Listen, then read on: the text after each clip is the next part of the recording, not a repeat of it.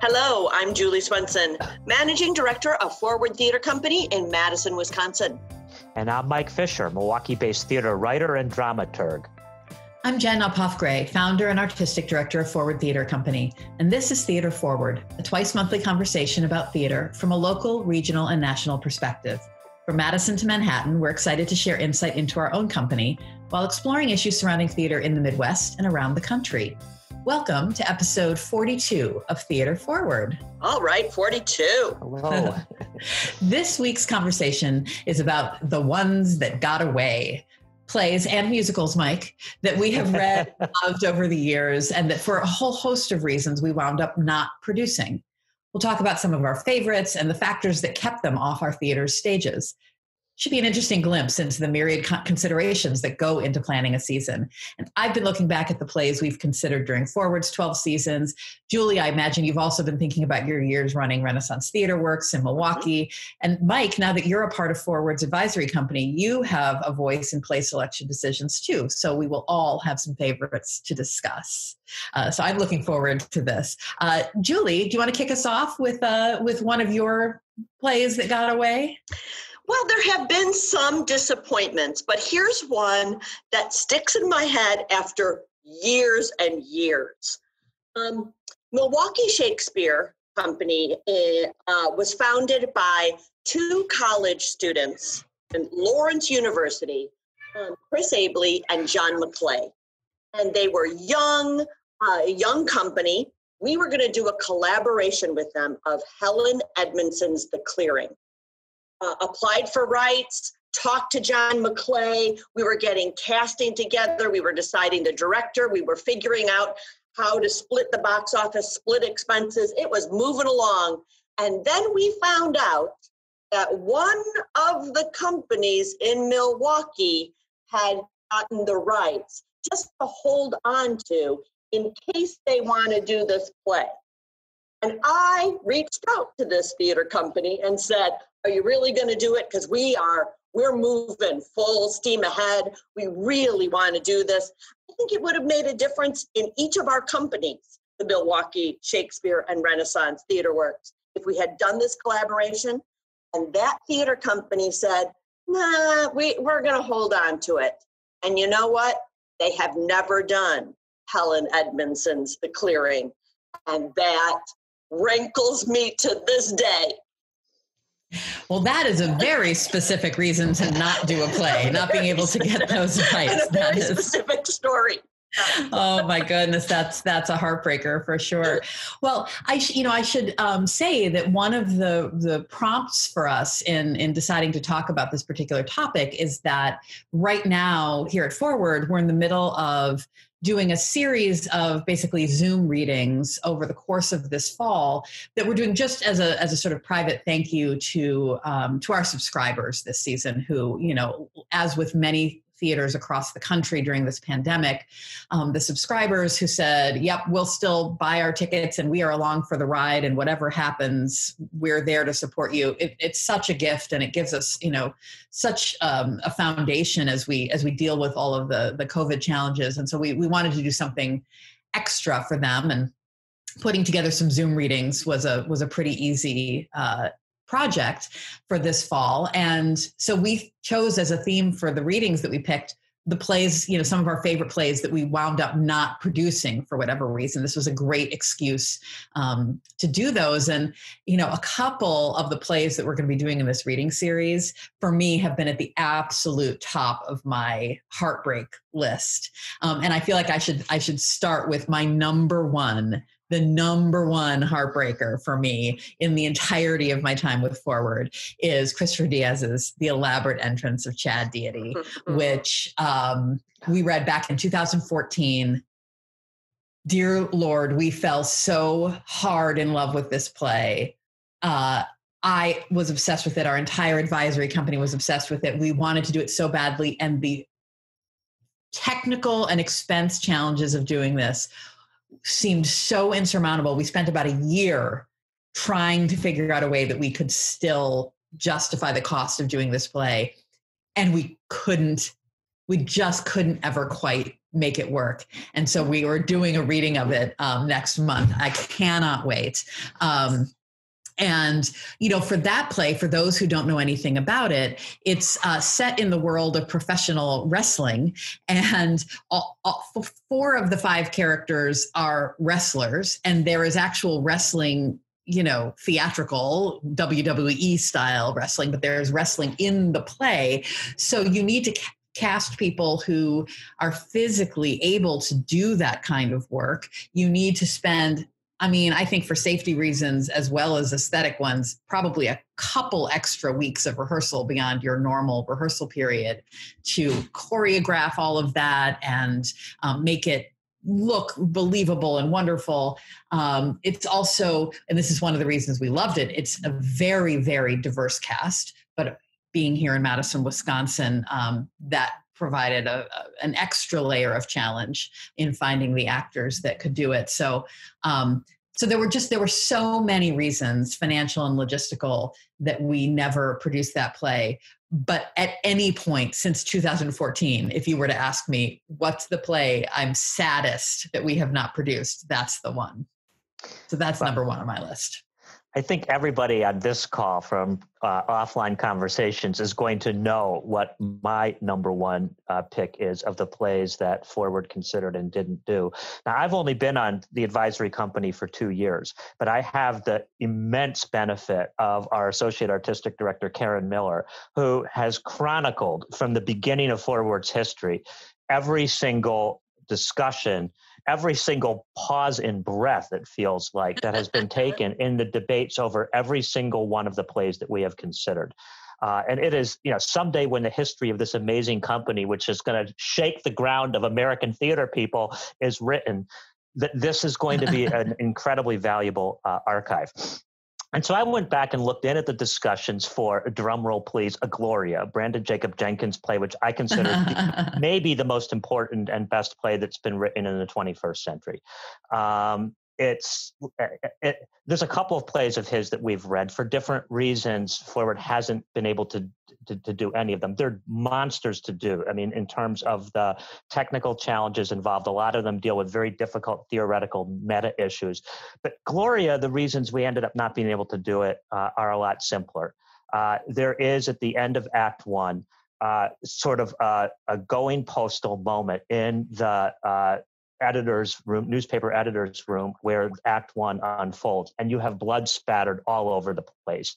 Um, and that was difficult even when the play was written in terms of productions. There are other theater companies around the country that really wanted to do this play and decided not to. And I respect the reasons why uh, people are gun shy, no pun intended, about about doing it, but the issues that it raises in terms of the cult of motherhood, the culture of narcissism, the cult of personality in America, the way we uh, fetishize and, and, and glorify violence, uh, the way in which we have gotten further and further away from hard news content and moved closer to fake news. I mean, it is such a huge canvas uh, that he covers and very, very compelling dialogue. It's a beautiful play. I think a lot of people in, at Forward felt it was a beautiful play, but they were, for reasons I understand, even though I disagree with, nervous about doing it because of the gun violence uh, within it. And I know we've talked about that a little bit before, but I wanted to give a greater shout out here to the actual substance of the play itself because it is so much more uh, than that particular moment. That's the one that got away from me. Yeah, and anyone who listened to our um, podcast episode last year, sometime about gun violence on stage, knows that I am with you. I am deeply, deeply, deeply enamored of that play.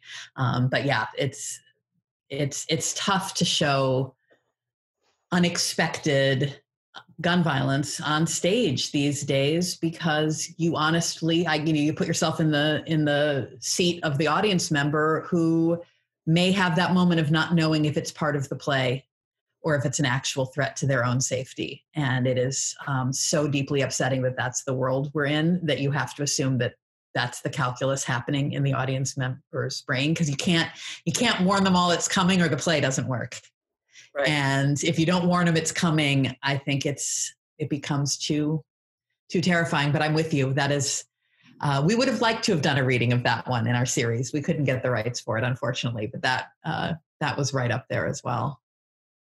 Julie, what's another one for you? I have I have a genre of, of uh, shows, and and it is the state that we live in that is predominantly white that prevents us from doing some plays. And um, I am surprised in Wisconsin, we have a lot of Native American tribes in this state. There are a lot of really great plays written by Native Americans, and we don't have the actors here. And, and I think that that um, precludes us, especially as a company that is Wisconsin based and wants to support people living here, it takes some plays off of the table. And um, I don't know how to rectify that. I mean, we will rectify that. We will have to go out and um, to other to other places in the country if we want to do some of these plays. But it's um, I've I've read a bunch that I think are really beautiful that just can't be done because we don't have the actors in this.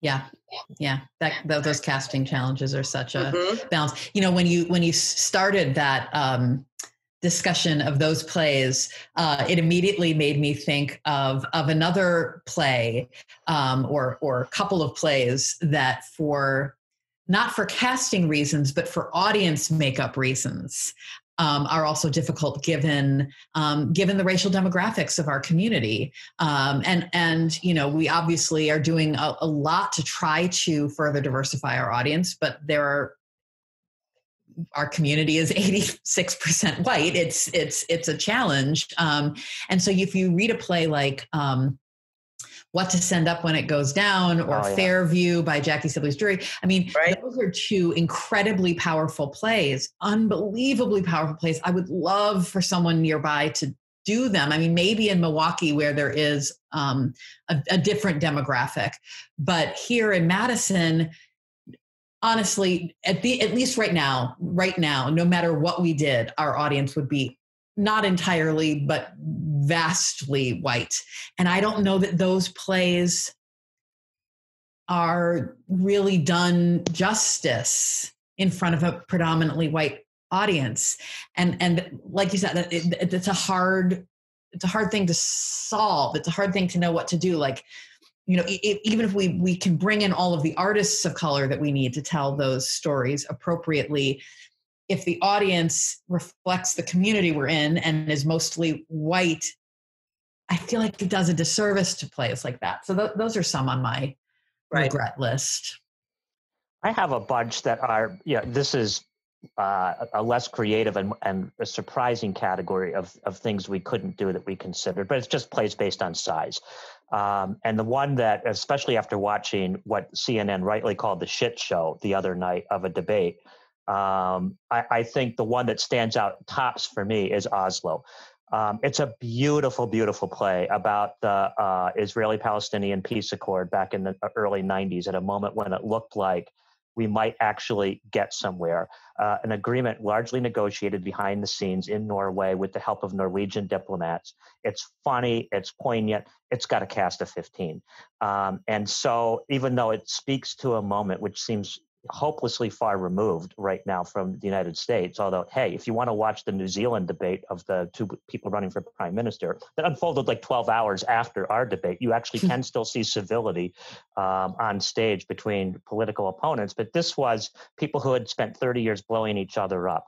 Um, and they found a way to come together at the table and for that brief shining moment move us forward.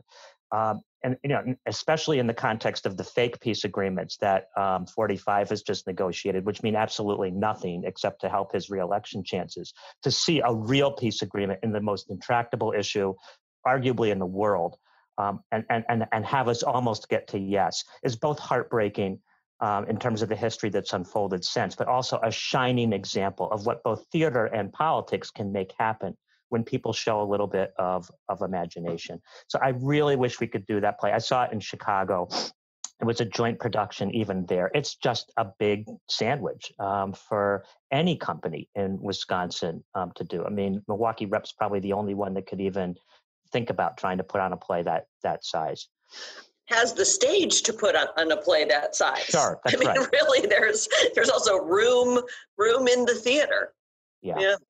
Yeah, you know, cast size um, makes me think of of uh, another play that we have talked about um, in a different context on this podcast before, um, but it's certainly on my list of ones I would have loved to have done, which was The Wolves, Oh, yeah. um, which is uh, partly a cast size issue in why we didn't do it, but as we discussed uh, in a prior conversation, also um, because it is a cast, with one exception, entirely of um, high school aged characters.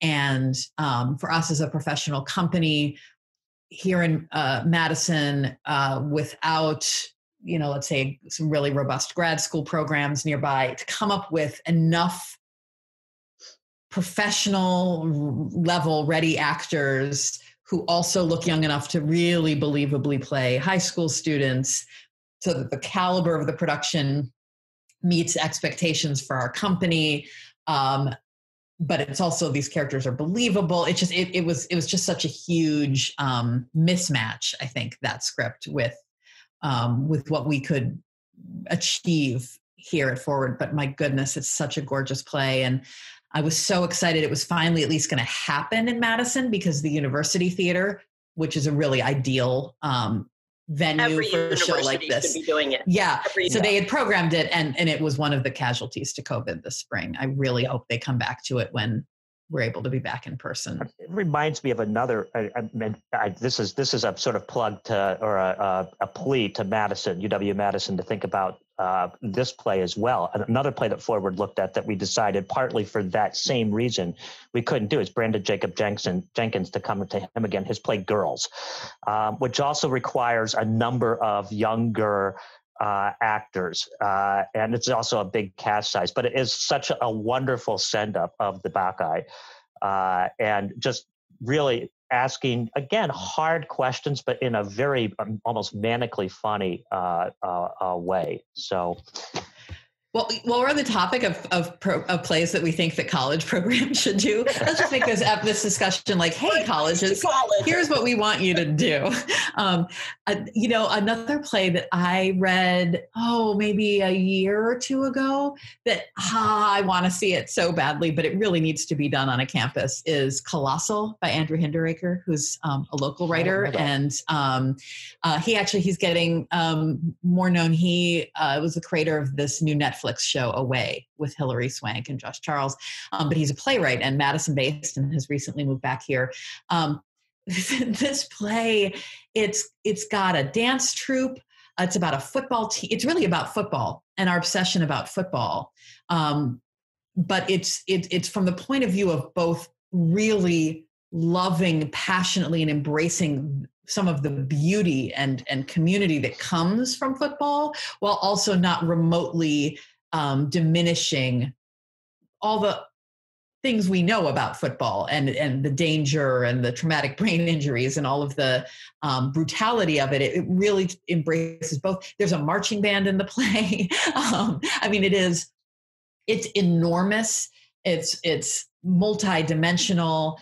Uh, again, can't I, there, I just don't think there's any scenario in which a company like Forward could do it, but it would be a brilliant way to bring different aspects of a college campus together. And I really hope somebody does. I actually sent it to a number of folks that I know who teach theater throughout the UW system around the state. I was like, read this play. You should do this play. There are there are some, um, and this is a consideration too, not just subject matter, but the fact that we produce shows on a thrust stage, you know, audience three three sides around, limits in some ways what we can do. And like a big, huge marching band and football team becomes problematic, or the girls with hundreds Yeah. of people in Yeah, a yeah. forest. It's really difficult to do on Right. that stage. And, and that has to be a consideration too. One of the plays, um, I, I, I'm, I feel like you're just teeing me up, Julie, because one of the other ones on my list is a play that uh, I absolutely love and specifically took off the table for us because um, it is a play that is written for a proscenium house. And that is Stephen Karam's The Humans, Oh yeah. uh, which is written, it takes place in a two level apartment a duplex apartment. And the way the play is written, you need to be aware of where all the characters are in this duplex apartment. You know, and the audience view in a thrust configuration theater is different throughout the house. And there's almost no logistical way to do that two story house where everybody from their different seats in the thrust theater can see the whole set both levels and see where all those characters are um, it is a play that's written for a proscenium. And so it was uh, it was really enjoyable to see the Olney Theater in maryland um, currently is running a, a, digital production directed by our friend aaron posner um, where you know, it's, it's sort of a Zoom style show, uh, which we can do that. Um, and you can just move the the actors' faces around um, against uh, a picture of, of what that set would look like. But I, I, you know, we we did Karam's play, Sons of the Prophet. I just love his writing. He is so human in his characters and the stories that he tells, and I think it's a brilliant i think it's a brilliant play. I really really do. Agreed. Um, but it's but it is it is that rare piece that was actually really specifically written for a proscenium house. And maybe there's a designer out there that can come in and and show me how how we can really effectively do justice to that script in a in a thrust stage but haven't come up with it yet. Yeah. a, a, proscenium house with a tall enough um, ceiling and grid to to be able to do that second story. That's the biggest problem with that play. I mean, the biggest obstacle, I should say, because I think it's brilliant. I agree with you. Um, but that two-story set and and the desire for the entire audience to see multiple stories and and see what's going on on each on each of those flights um, is is difficult for a lot of spaces. I mean, it's one of the reasons I think that we can't do uh, a, a, play like Samuel Hunter's The Greater Clements, um, which requires this also requires a two-story set. God, it's so beautiful. It's such a gorgeous. I mean, we're also doing another Samuel Hunter play. I get it. So, but it's um, uh, you know that's one of the reasons why I, a, a, play like that's probably one that we we we, we can't do. Um, I have a whole category of plays that have to do with some that the uh, Theater Communications Group of Hazard of Fortunes pointed out when it was talking about the future of the American play. This has to be a 10 year old book now. But it said, you know, you can get people in regional theater to come and see something that it hits as hard as you can possibly imagine politically, for example.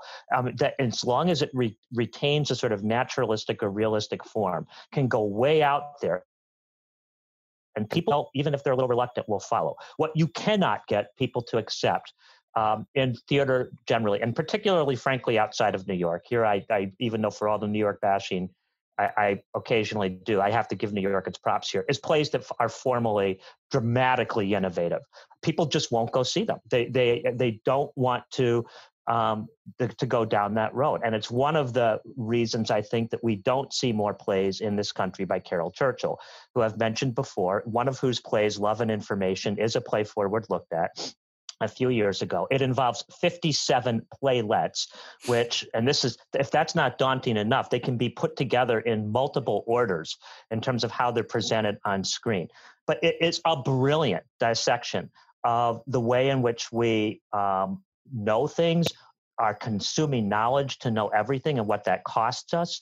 Um, the difference between information overload and you know reconstructed uh, history through memory and imagination and how maybe knowing less and therefore being able to imagine more is ultimately a good thing. The relation between all of that and privacy i mean it is just an amazing play.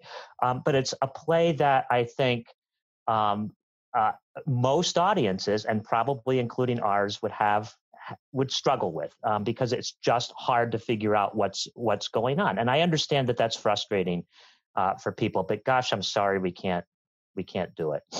Mike, I have to tease you because the uh, the deprivations of the last six months have clearly really gotten into your system because you said they could be put in any order on screen. Oh my God! Yeah.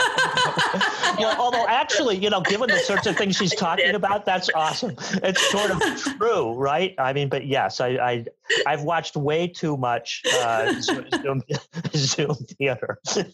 oh my god! Oh, I feel for you. Well, it's just another. That's just a further implosion of, of virtual reality and actual reality, which goes to another play I really, really love. And Julie, I think Renaissance was actually considering this when you were still there, but it's the play The Nether uh, by Jennifer oh, yeah. Haley, um, which is a play that there it's both form and I think subject matter. It deals with pedophilia.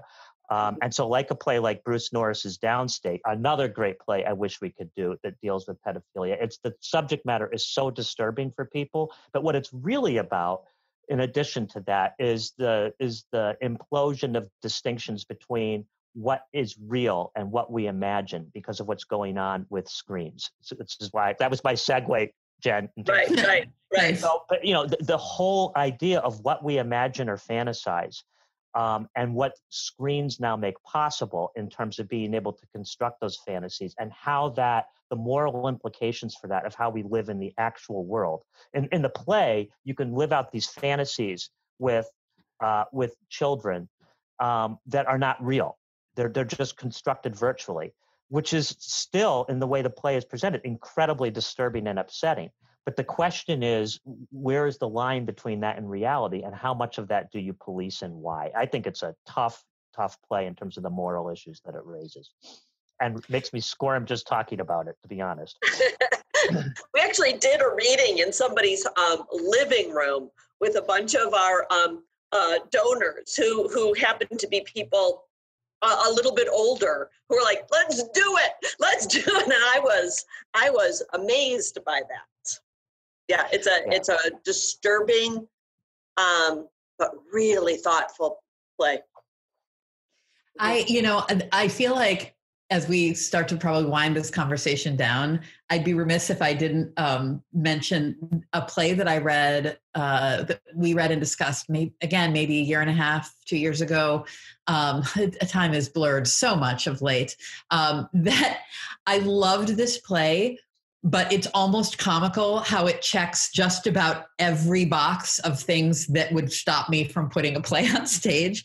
And that is a play called The Year to Come by Lindsey Ferrentino. And I will just rattle off a few of the things that this really wonderful, wonderful, beautiful, thought provoking, and funny play contains. Uh, first of all, very large cast.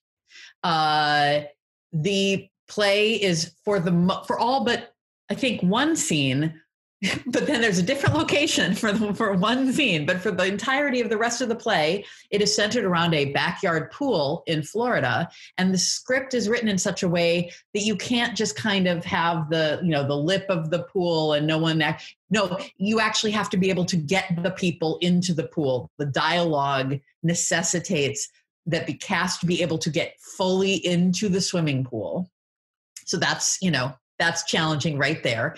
Uh, let's see what else is in this play. Uh, there's some nakedness, there's nudity, which in and of itself is not an absolute, you know, line in the sand. But you know, you have to think long and hard before you do that, especially in a thrust theater. Um, characters vomit on stage. That's another one I just personally don't love. Again, I would do a play with that, but it's not a something I take lightly. Um, there are scenes where uh, dead animal carcasses have to drop from the sky and land right. in the pool. Right. Um, I think it snows on stage too, if I'm not mistaken, yes, in one of the scenes. so I, it just, it was funny. I remember reading that play and simultaneously going, My God, I love this story. This writing is so good. These characters are so right. good. And every other page, I felt like I exclaimed out loud, Are you kidding me? it was almost like she was trying to make an unproducible play, uh, which made me really sad because I loved it. You know, so someone should make a movie out of it. I guess. Right. Yeah. It would be a perfect because the story is really brilliant, and um, and if there is a theater company that can figure out all of those things, I'll go to it. Yeah, I will buy a ticket. it would be amazing to pull that off, but it was a, it was it's it's something that one. Um, We've been going for a little while here. I think this might be a good time to uh, to wrap up this episode of Theater Forward. Although I suspect we could keep going, and we may need to come back later another time for another. We need round. to do a whole session just on musicals. I know, Mike. I said musicals, and we never even got to one. All right. Yes. I've got a list. I've got a list. yeah, it's, it's a date. Um, but that will be it for this episode of Theater Forward, a conversation about theater in Wisconsin, the Midwest, and America. Thank you so much for joining us. I'm Jen Uphoff Gray. I'm Julie Swenson. And I'm Mike Fisher. Our podcast is produced by Scott Hayden, who, if you tune into the reading of Chad Deity, you will see with his action figures um, as, as, as part of the show. I mean, how can you miss that? Anyway, you can follow us or share your thoughts on Facebook, uh, Twitter, or Instagram at Theater Forward, as always, with an ER. And if you enjoy this podcast, don't forget to subscribe to us on Apple Podcasts or wherever you might tune in. And be sure to leave a review. We're so grateful to have you listening, and we will be back soon for another Theater Forward conversation.